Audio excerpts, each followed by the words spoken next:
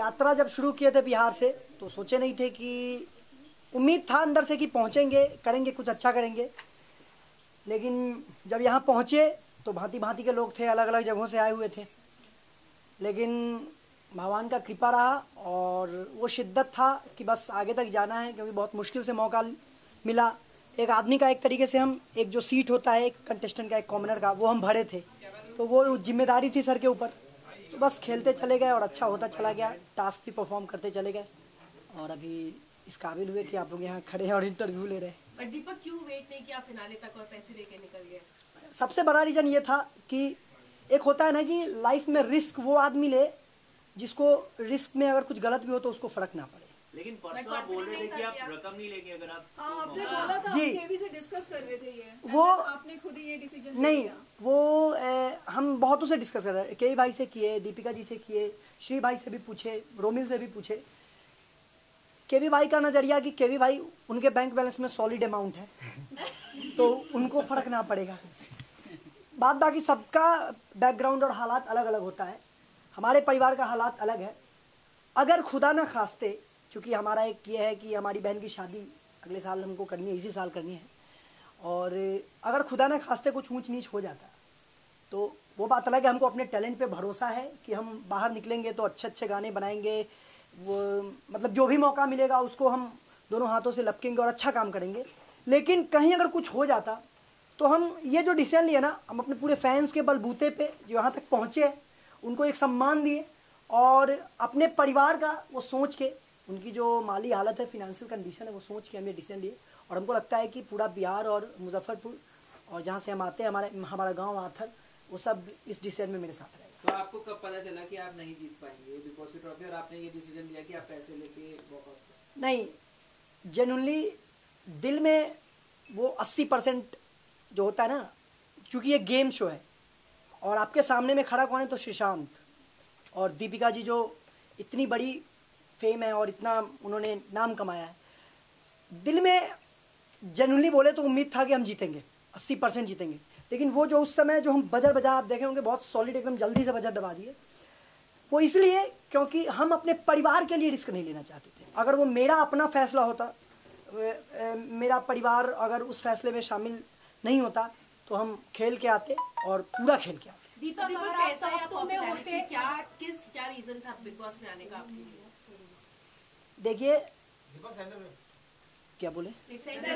अच्छा देखिए पॉपुलैरिटी और पैसा, आदमी में टैलेंट हो तो पॉपुलर भी होता है और पैसा भी मिलता है। रोजी रोटी कमाने का सबका साधन अलग होता है, लेकिन अगर आदमी में टैलेंट होता है ना तो वो चाहता है कि उस टैलेंट को दिखा के अगर उसको वो पैसा मिले जिससे उसका घर चले तो वो दोनों साथ साथ होना चाहिए।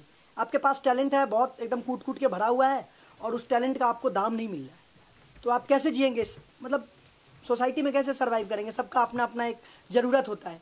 तो हम अपने टैलेंट को लेके आए थे और लोगों के दिलों में बस बसना चाहते थे खोना चाहते थे शायद मिल गया होगा और अब इसी को लेके आगे बढ़ेंगे। दीपक अगर आप टॉप टू में होते तो आप किससे हारना पसंद करते? जी। अगर आपको मौका मिलता है कि टॉप टू में आपके साथ कोई खड़ा होता तो कौन होता दीपिका या श्रीसर हम खुद से हारना पसंद करते हैं खुद से हारे हैं। लेकिन कौन किसको आप अपने साथ श्रीशांत दीपिका क्यों नहीं? ऐसे ही बस दीपिका जी से शुरू से मेरा बना नहीं और श्री भाई से एक इमोशनल वाला वो फील था।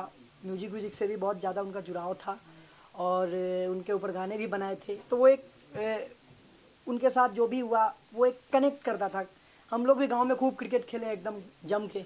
तो वो सारा कुछ एकदम एक वो एक हम दोनों को जोड़ता था। तो कितना भी झगड़ा करते थे कुछ भी करते थे लेकिन बहुत सही था उनसे बॉन्डिंग तो चाहते कि श्रीशांत हमारे साथ दीपिका जीत गई है तो उनके बारे में क्या कहोगे? बिल्कुल बहुत अच्छी इंसान है वो। और नहीं नहीं नहीं बहुत नहीं, नहीं उन्होंने बहुत हलवा चाय बहुत बहुत मतलब जेन्यूनली बहुत केयर किया। शुरू में हम उनको बहुत गलत समझे। लेकिन जिस तरीके से जिस शिद्दत से अपने माँ बाप से दूर अपने परिवार से दूर सत्रह कंटेस्टेंट बीस कंटेस्टेंट जो भी एक घर में आते हैं और उनका आप इतने तन मतलब मन एकदम पूरा लग के उसको आप उसकी केयर करते हो तो ये कोई किसी के लिए क्यों करेगा? तो वो लेट से रियलाइज़ हुआ। दीपक आप अपने डिसीज़न से सेटिस्फाइड हैं कि आपने बदल दबाया? जी बहुत बहुत ज़्यादा सेटिस्फाइड रिग्रेट तो नहीं हुआ कि क्यों रिग्रेट नहीं? बिल्कुल नहीं क्योंकि ए, ए, वो जो बैग मैंने लिया उससे एक अंदर एक ये उम्मीद है कि अपनी बहन की शादी बहुत सही से होगी और जब होगी उसके बाद हम अ, उस तब तक हम इतने अपने बलबूते पर हम खड़े हो जाएँगे और इतना प्यार जनता का मिला है यहाँ तक पहुँचे तभी कि हम और आगे फिर अच्छा करेंगे। दीपक इन सब में सबसे बड़ी सीख क्या घर लेकर जाएँगे पैसों के साथ आप? पैसों के साथ सीख लेकर देखिए, घर में घुसे थे ना तो ये नहीं सोच के आए थे कि रिश्ते बनाएँगे लोगों से, ठीक है? इंसान चुनते चले गए कि कौन इंसान सही है सही है, रिश्ता बन गया। तो वो एक, घर से बाहर हम एक चीज़ लेके जाएँगे कि हालात किसी भी तरीके से बदलता रहे, एकदम ऊंच नीच होते रहता है, जीवन भी एक गेम की तरह ही है, कभी उतार, कभी चढ़ाव। अपना आदमी को हौसला कभी नहीं हारना चाहिए। हम भी नहीं सोचे थे हम यहाँ होंगे और यहाँ से निकलेंगे तो ऐसा नज़ारा होगा। तो ये लेके जाएँगे कि सिचुएशन कुछ भी हो आप आसमान में उड़ो या ज़मीन पर पाँव आपके ज़मीन पे ही रहना चाहिए। दीपक तो आप जोड़ी आप है दीपक आप जोड़ी के साथ आई थी उर्वशी क्या आप जाके मिलोगे अभी? अभी तो मिल लिए उससे। ए, मिलेंगे बिल्कुल मिलेंगे।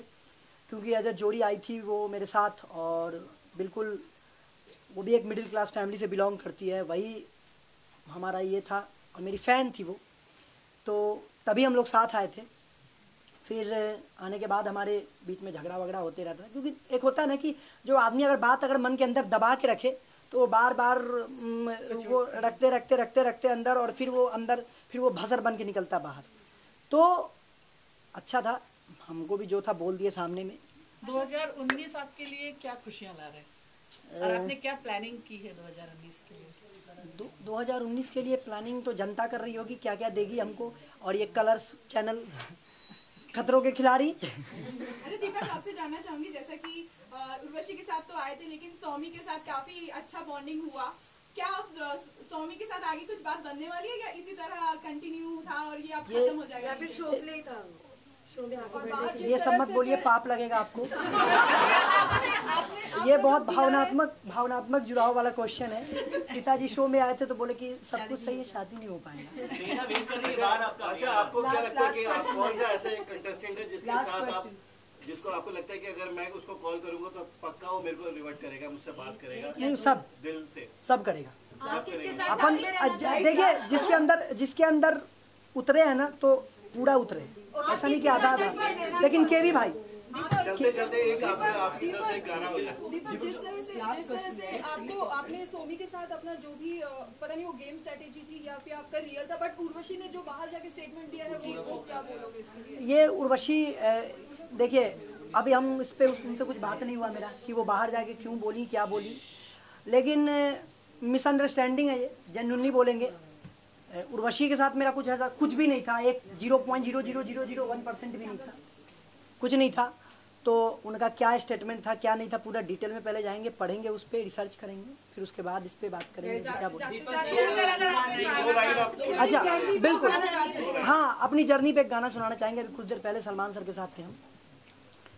तो एक गाना हम ये घर में ही मन में लिखे थे। हम्म, है बिहार के एक परिवार के, एक लड़के की ये दास्तां। कैसे उसने देखे सपने और कैसे बनाया रास्ता। वो गाने गाता था, सपने सजाता था कि दुनिया उसको जाने उसकी नाम से। फ़ैन बड़ा था, मिलने को अड़ा था। बजरंगी भाई जान से उसने वो पहला मैसेज भेजा प्रणाम करके। गाने भी गा के भेजे, दुआ सलाम करके। किस्मत ने खेला अपना खेल, कि बंदा पहुँचा बम्बई शहर में। मेहनत से गया लकीरा मेल कि बंदा आया बिग बॉस के घर में। अब वो लम्हा था जो जाने कहाँ था वो पास खड़ा था सलमान के।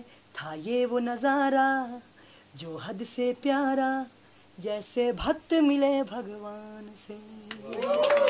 थैंक यू थैंक यू आप लोग अपना प्यार आशीर्वाद ऐसे ही बनाए रखिए। अलविदा। है ना?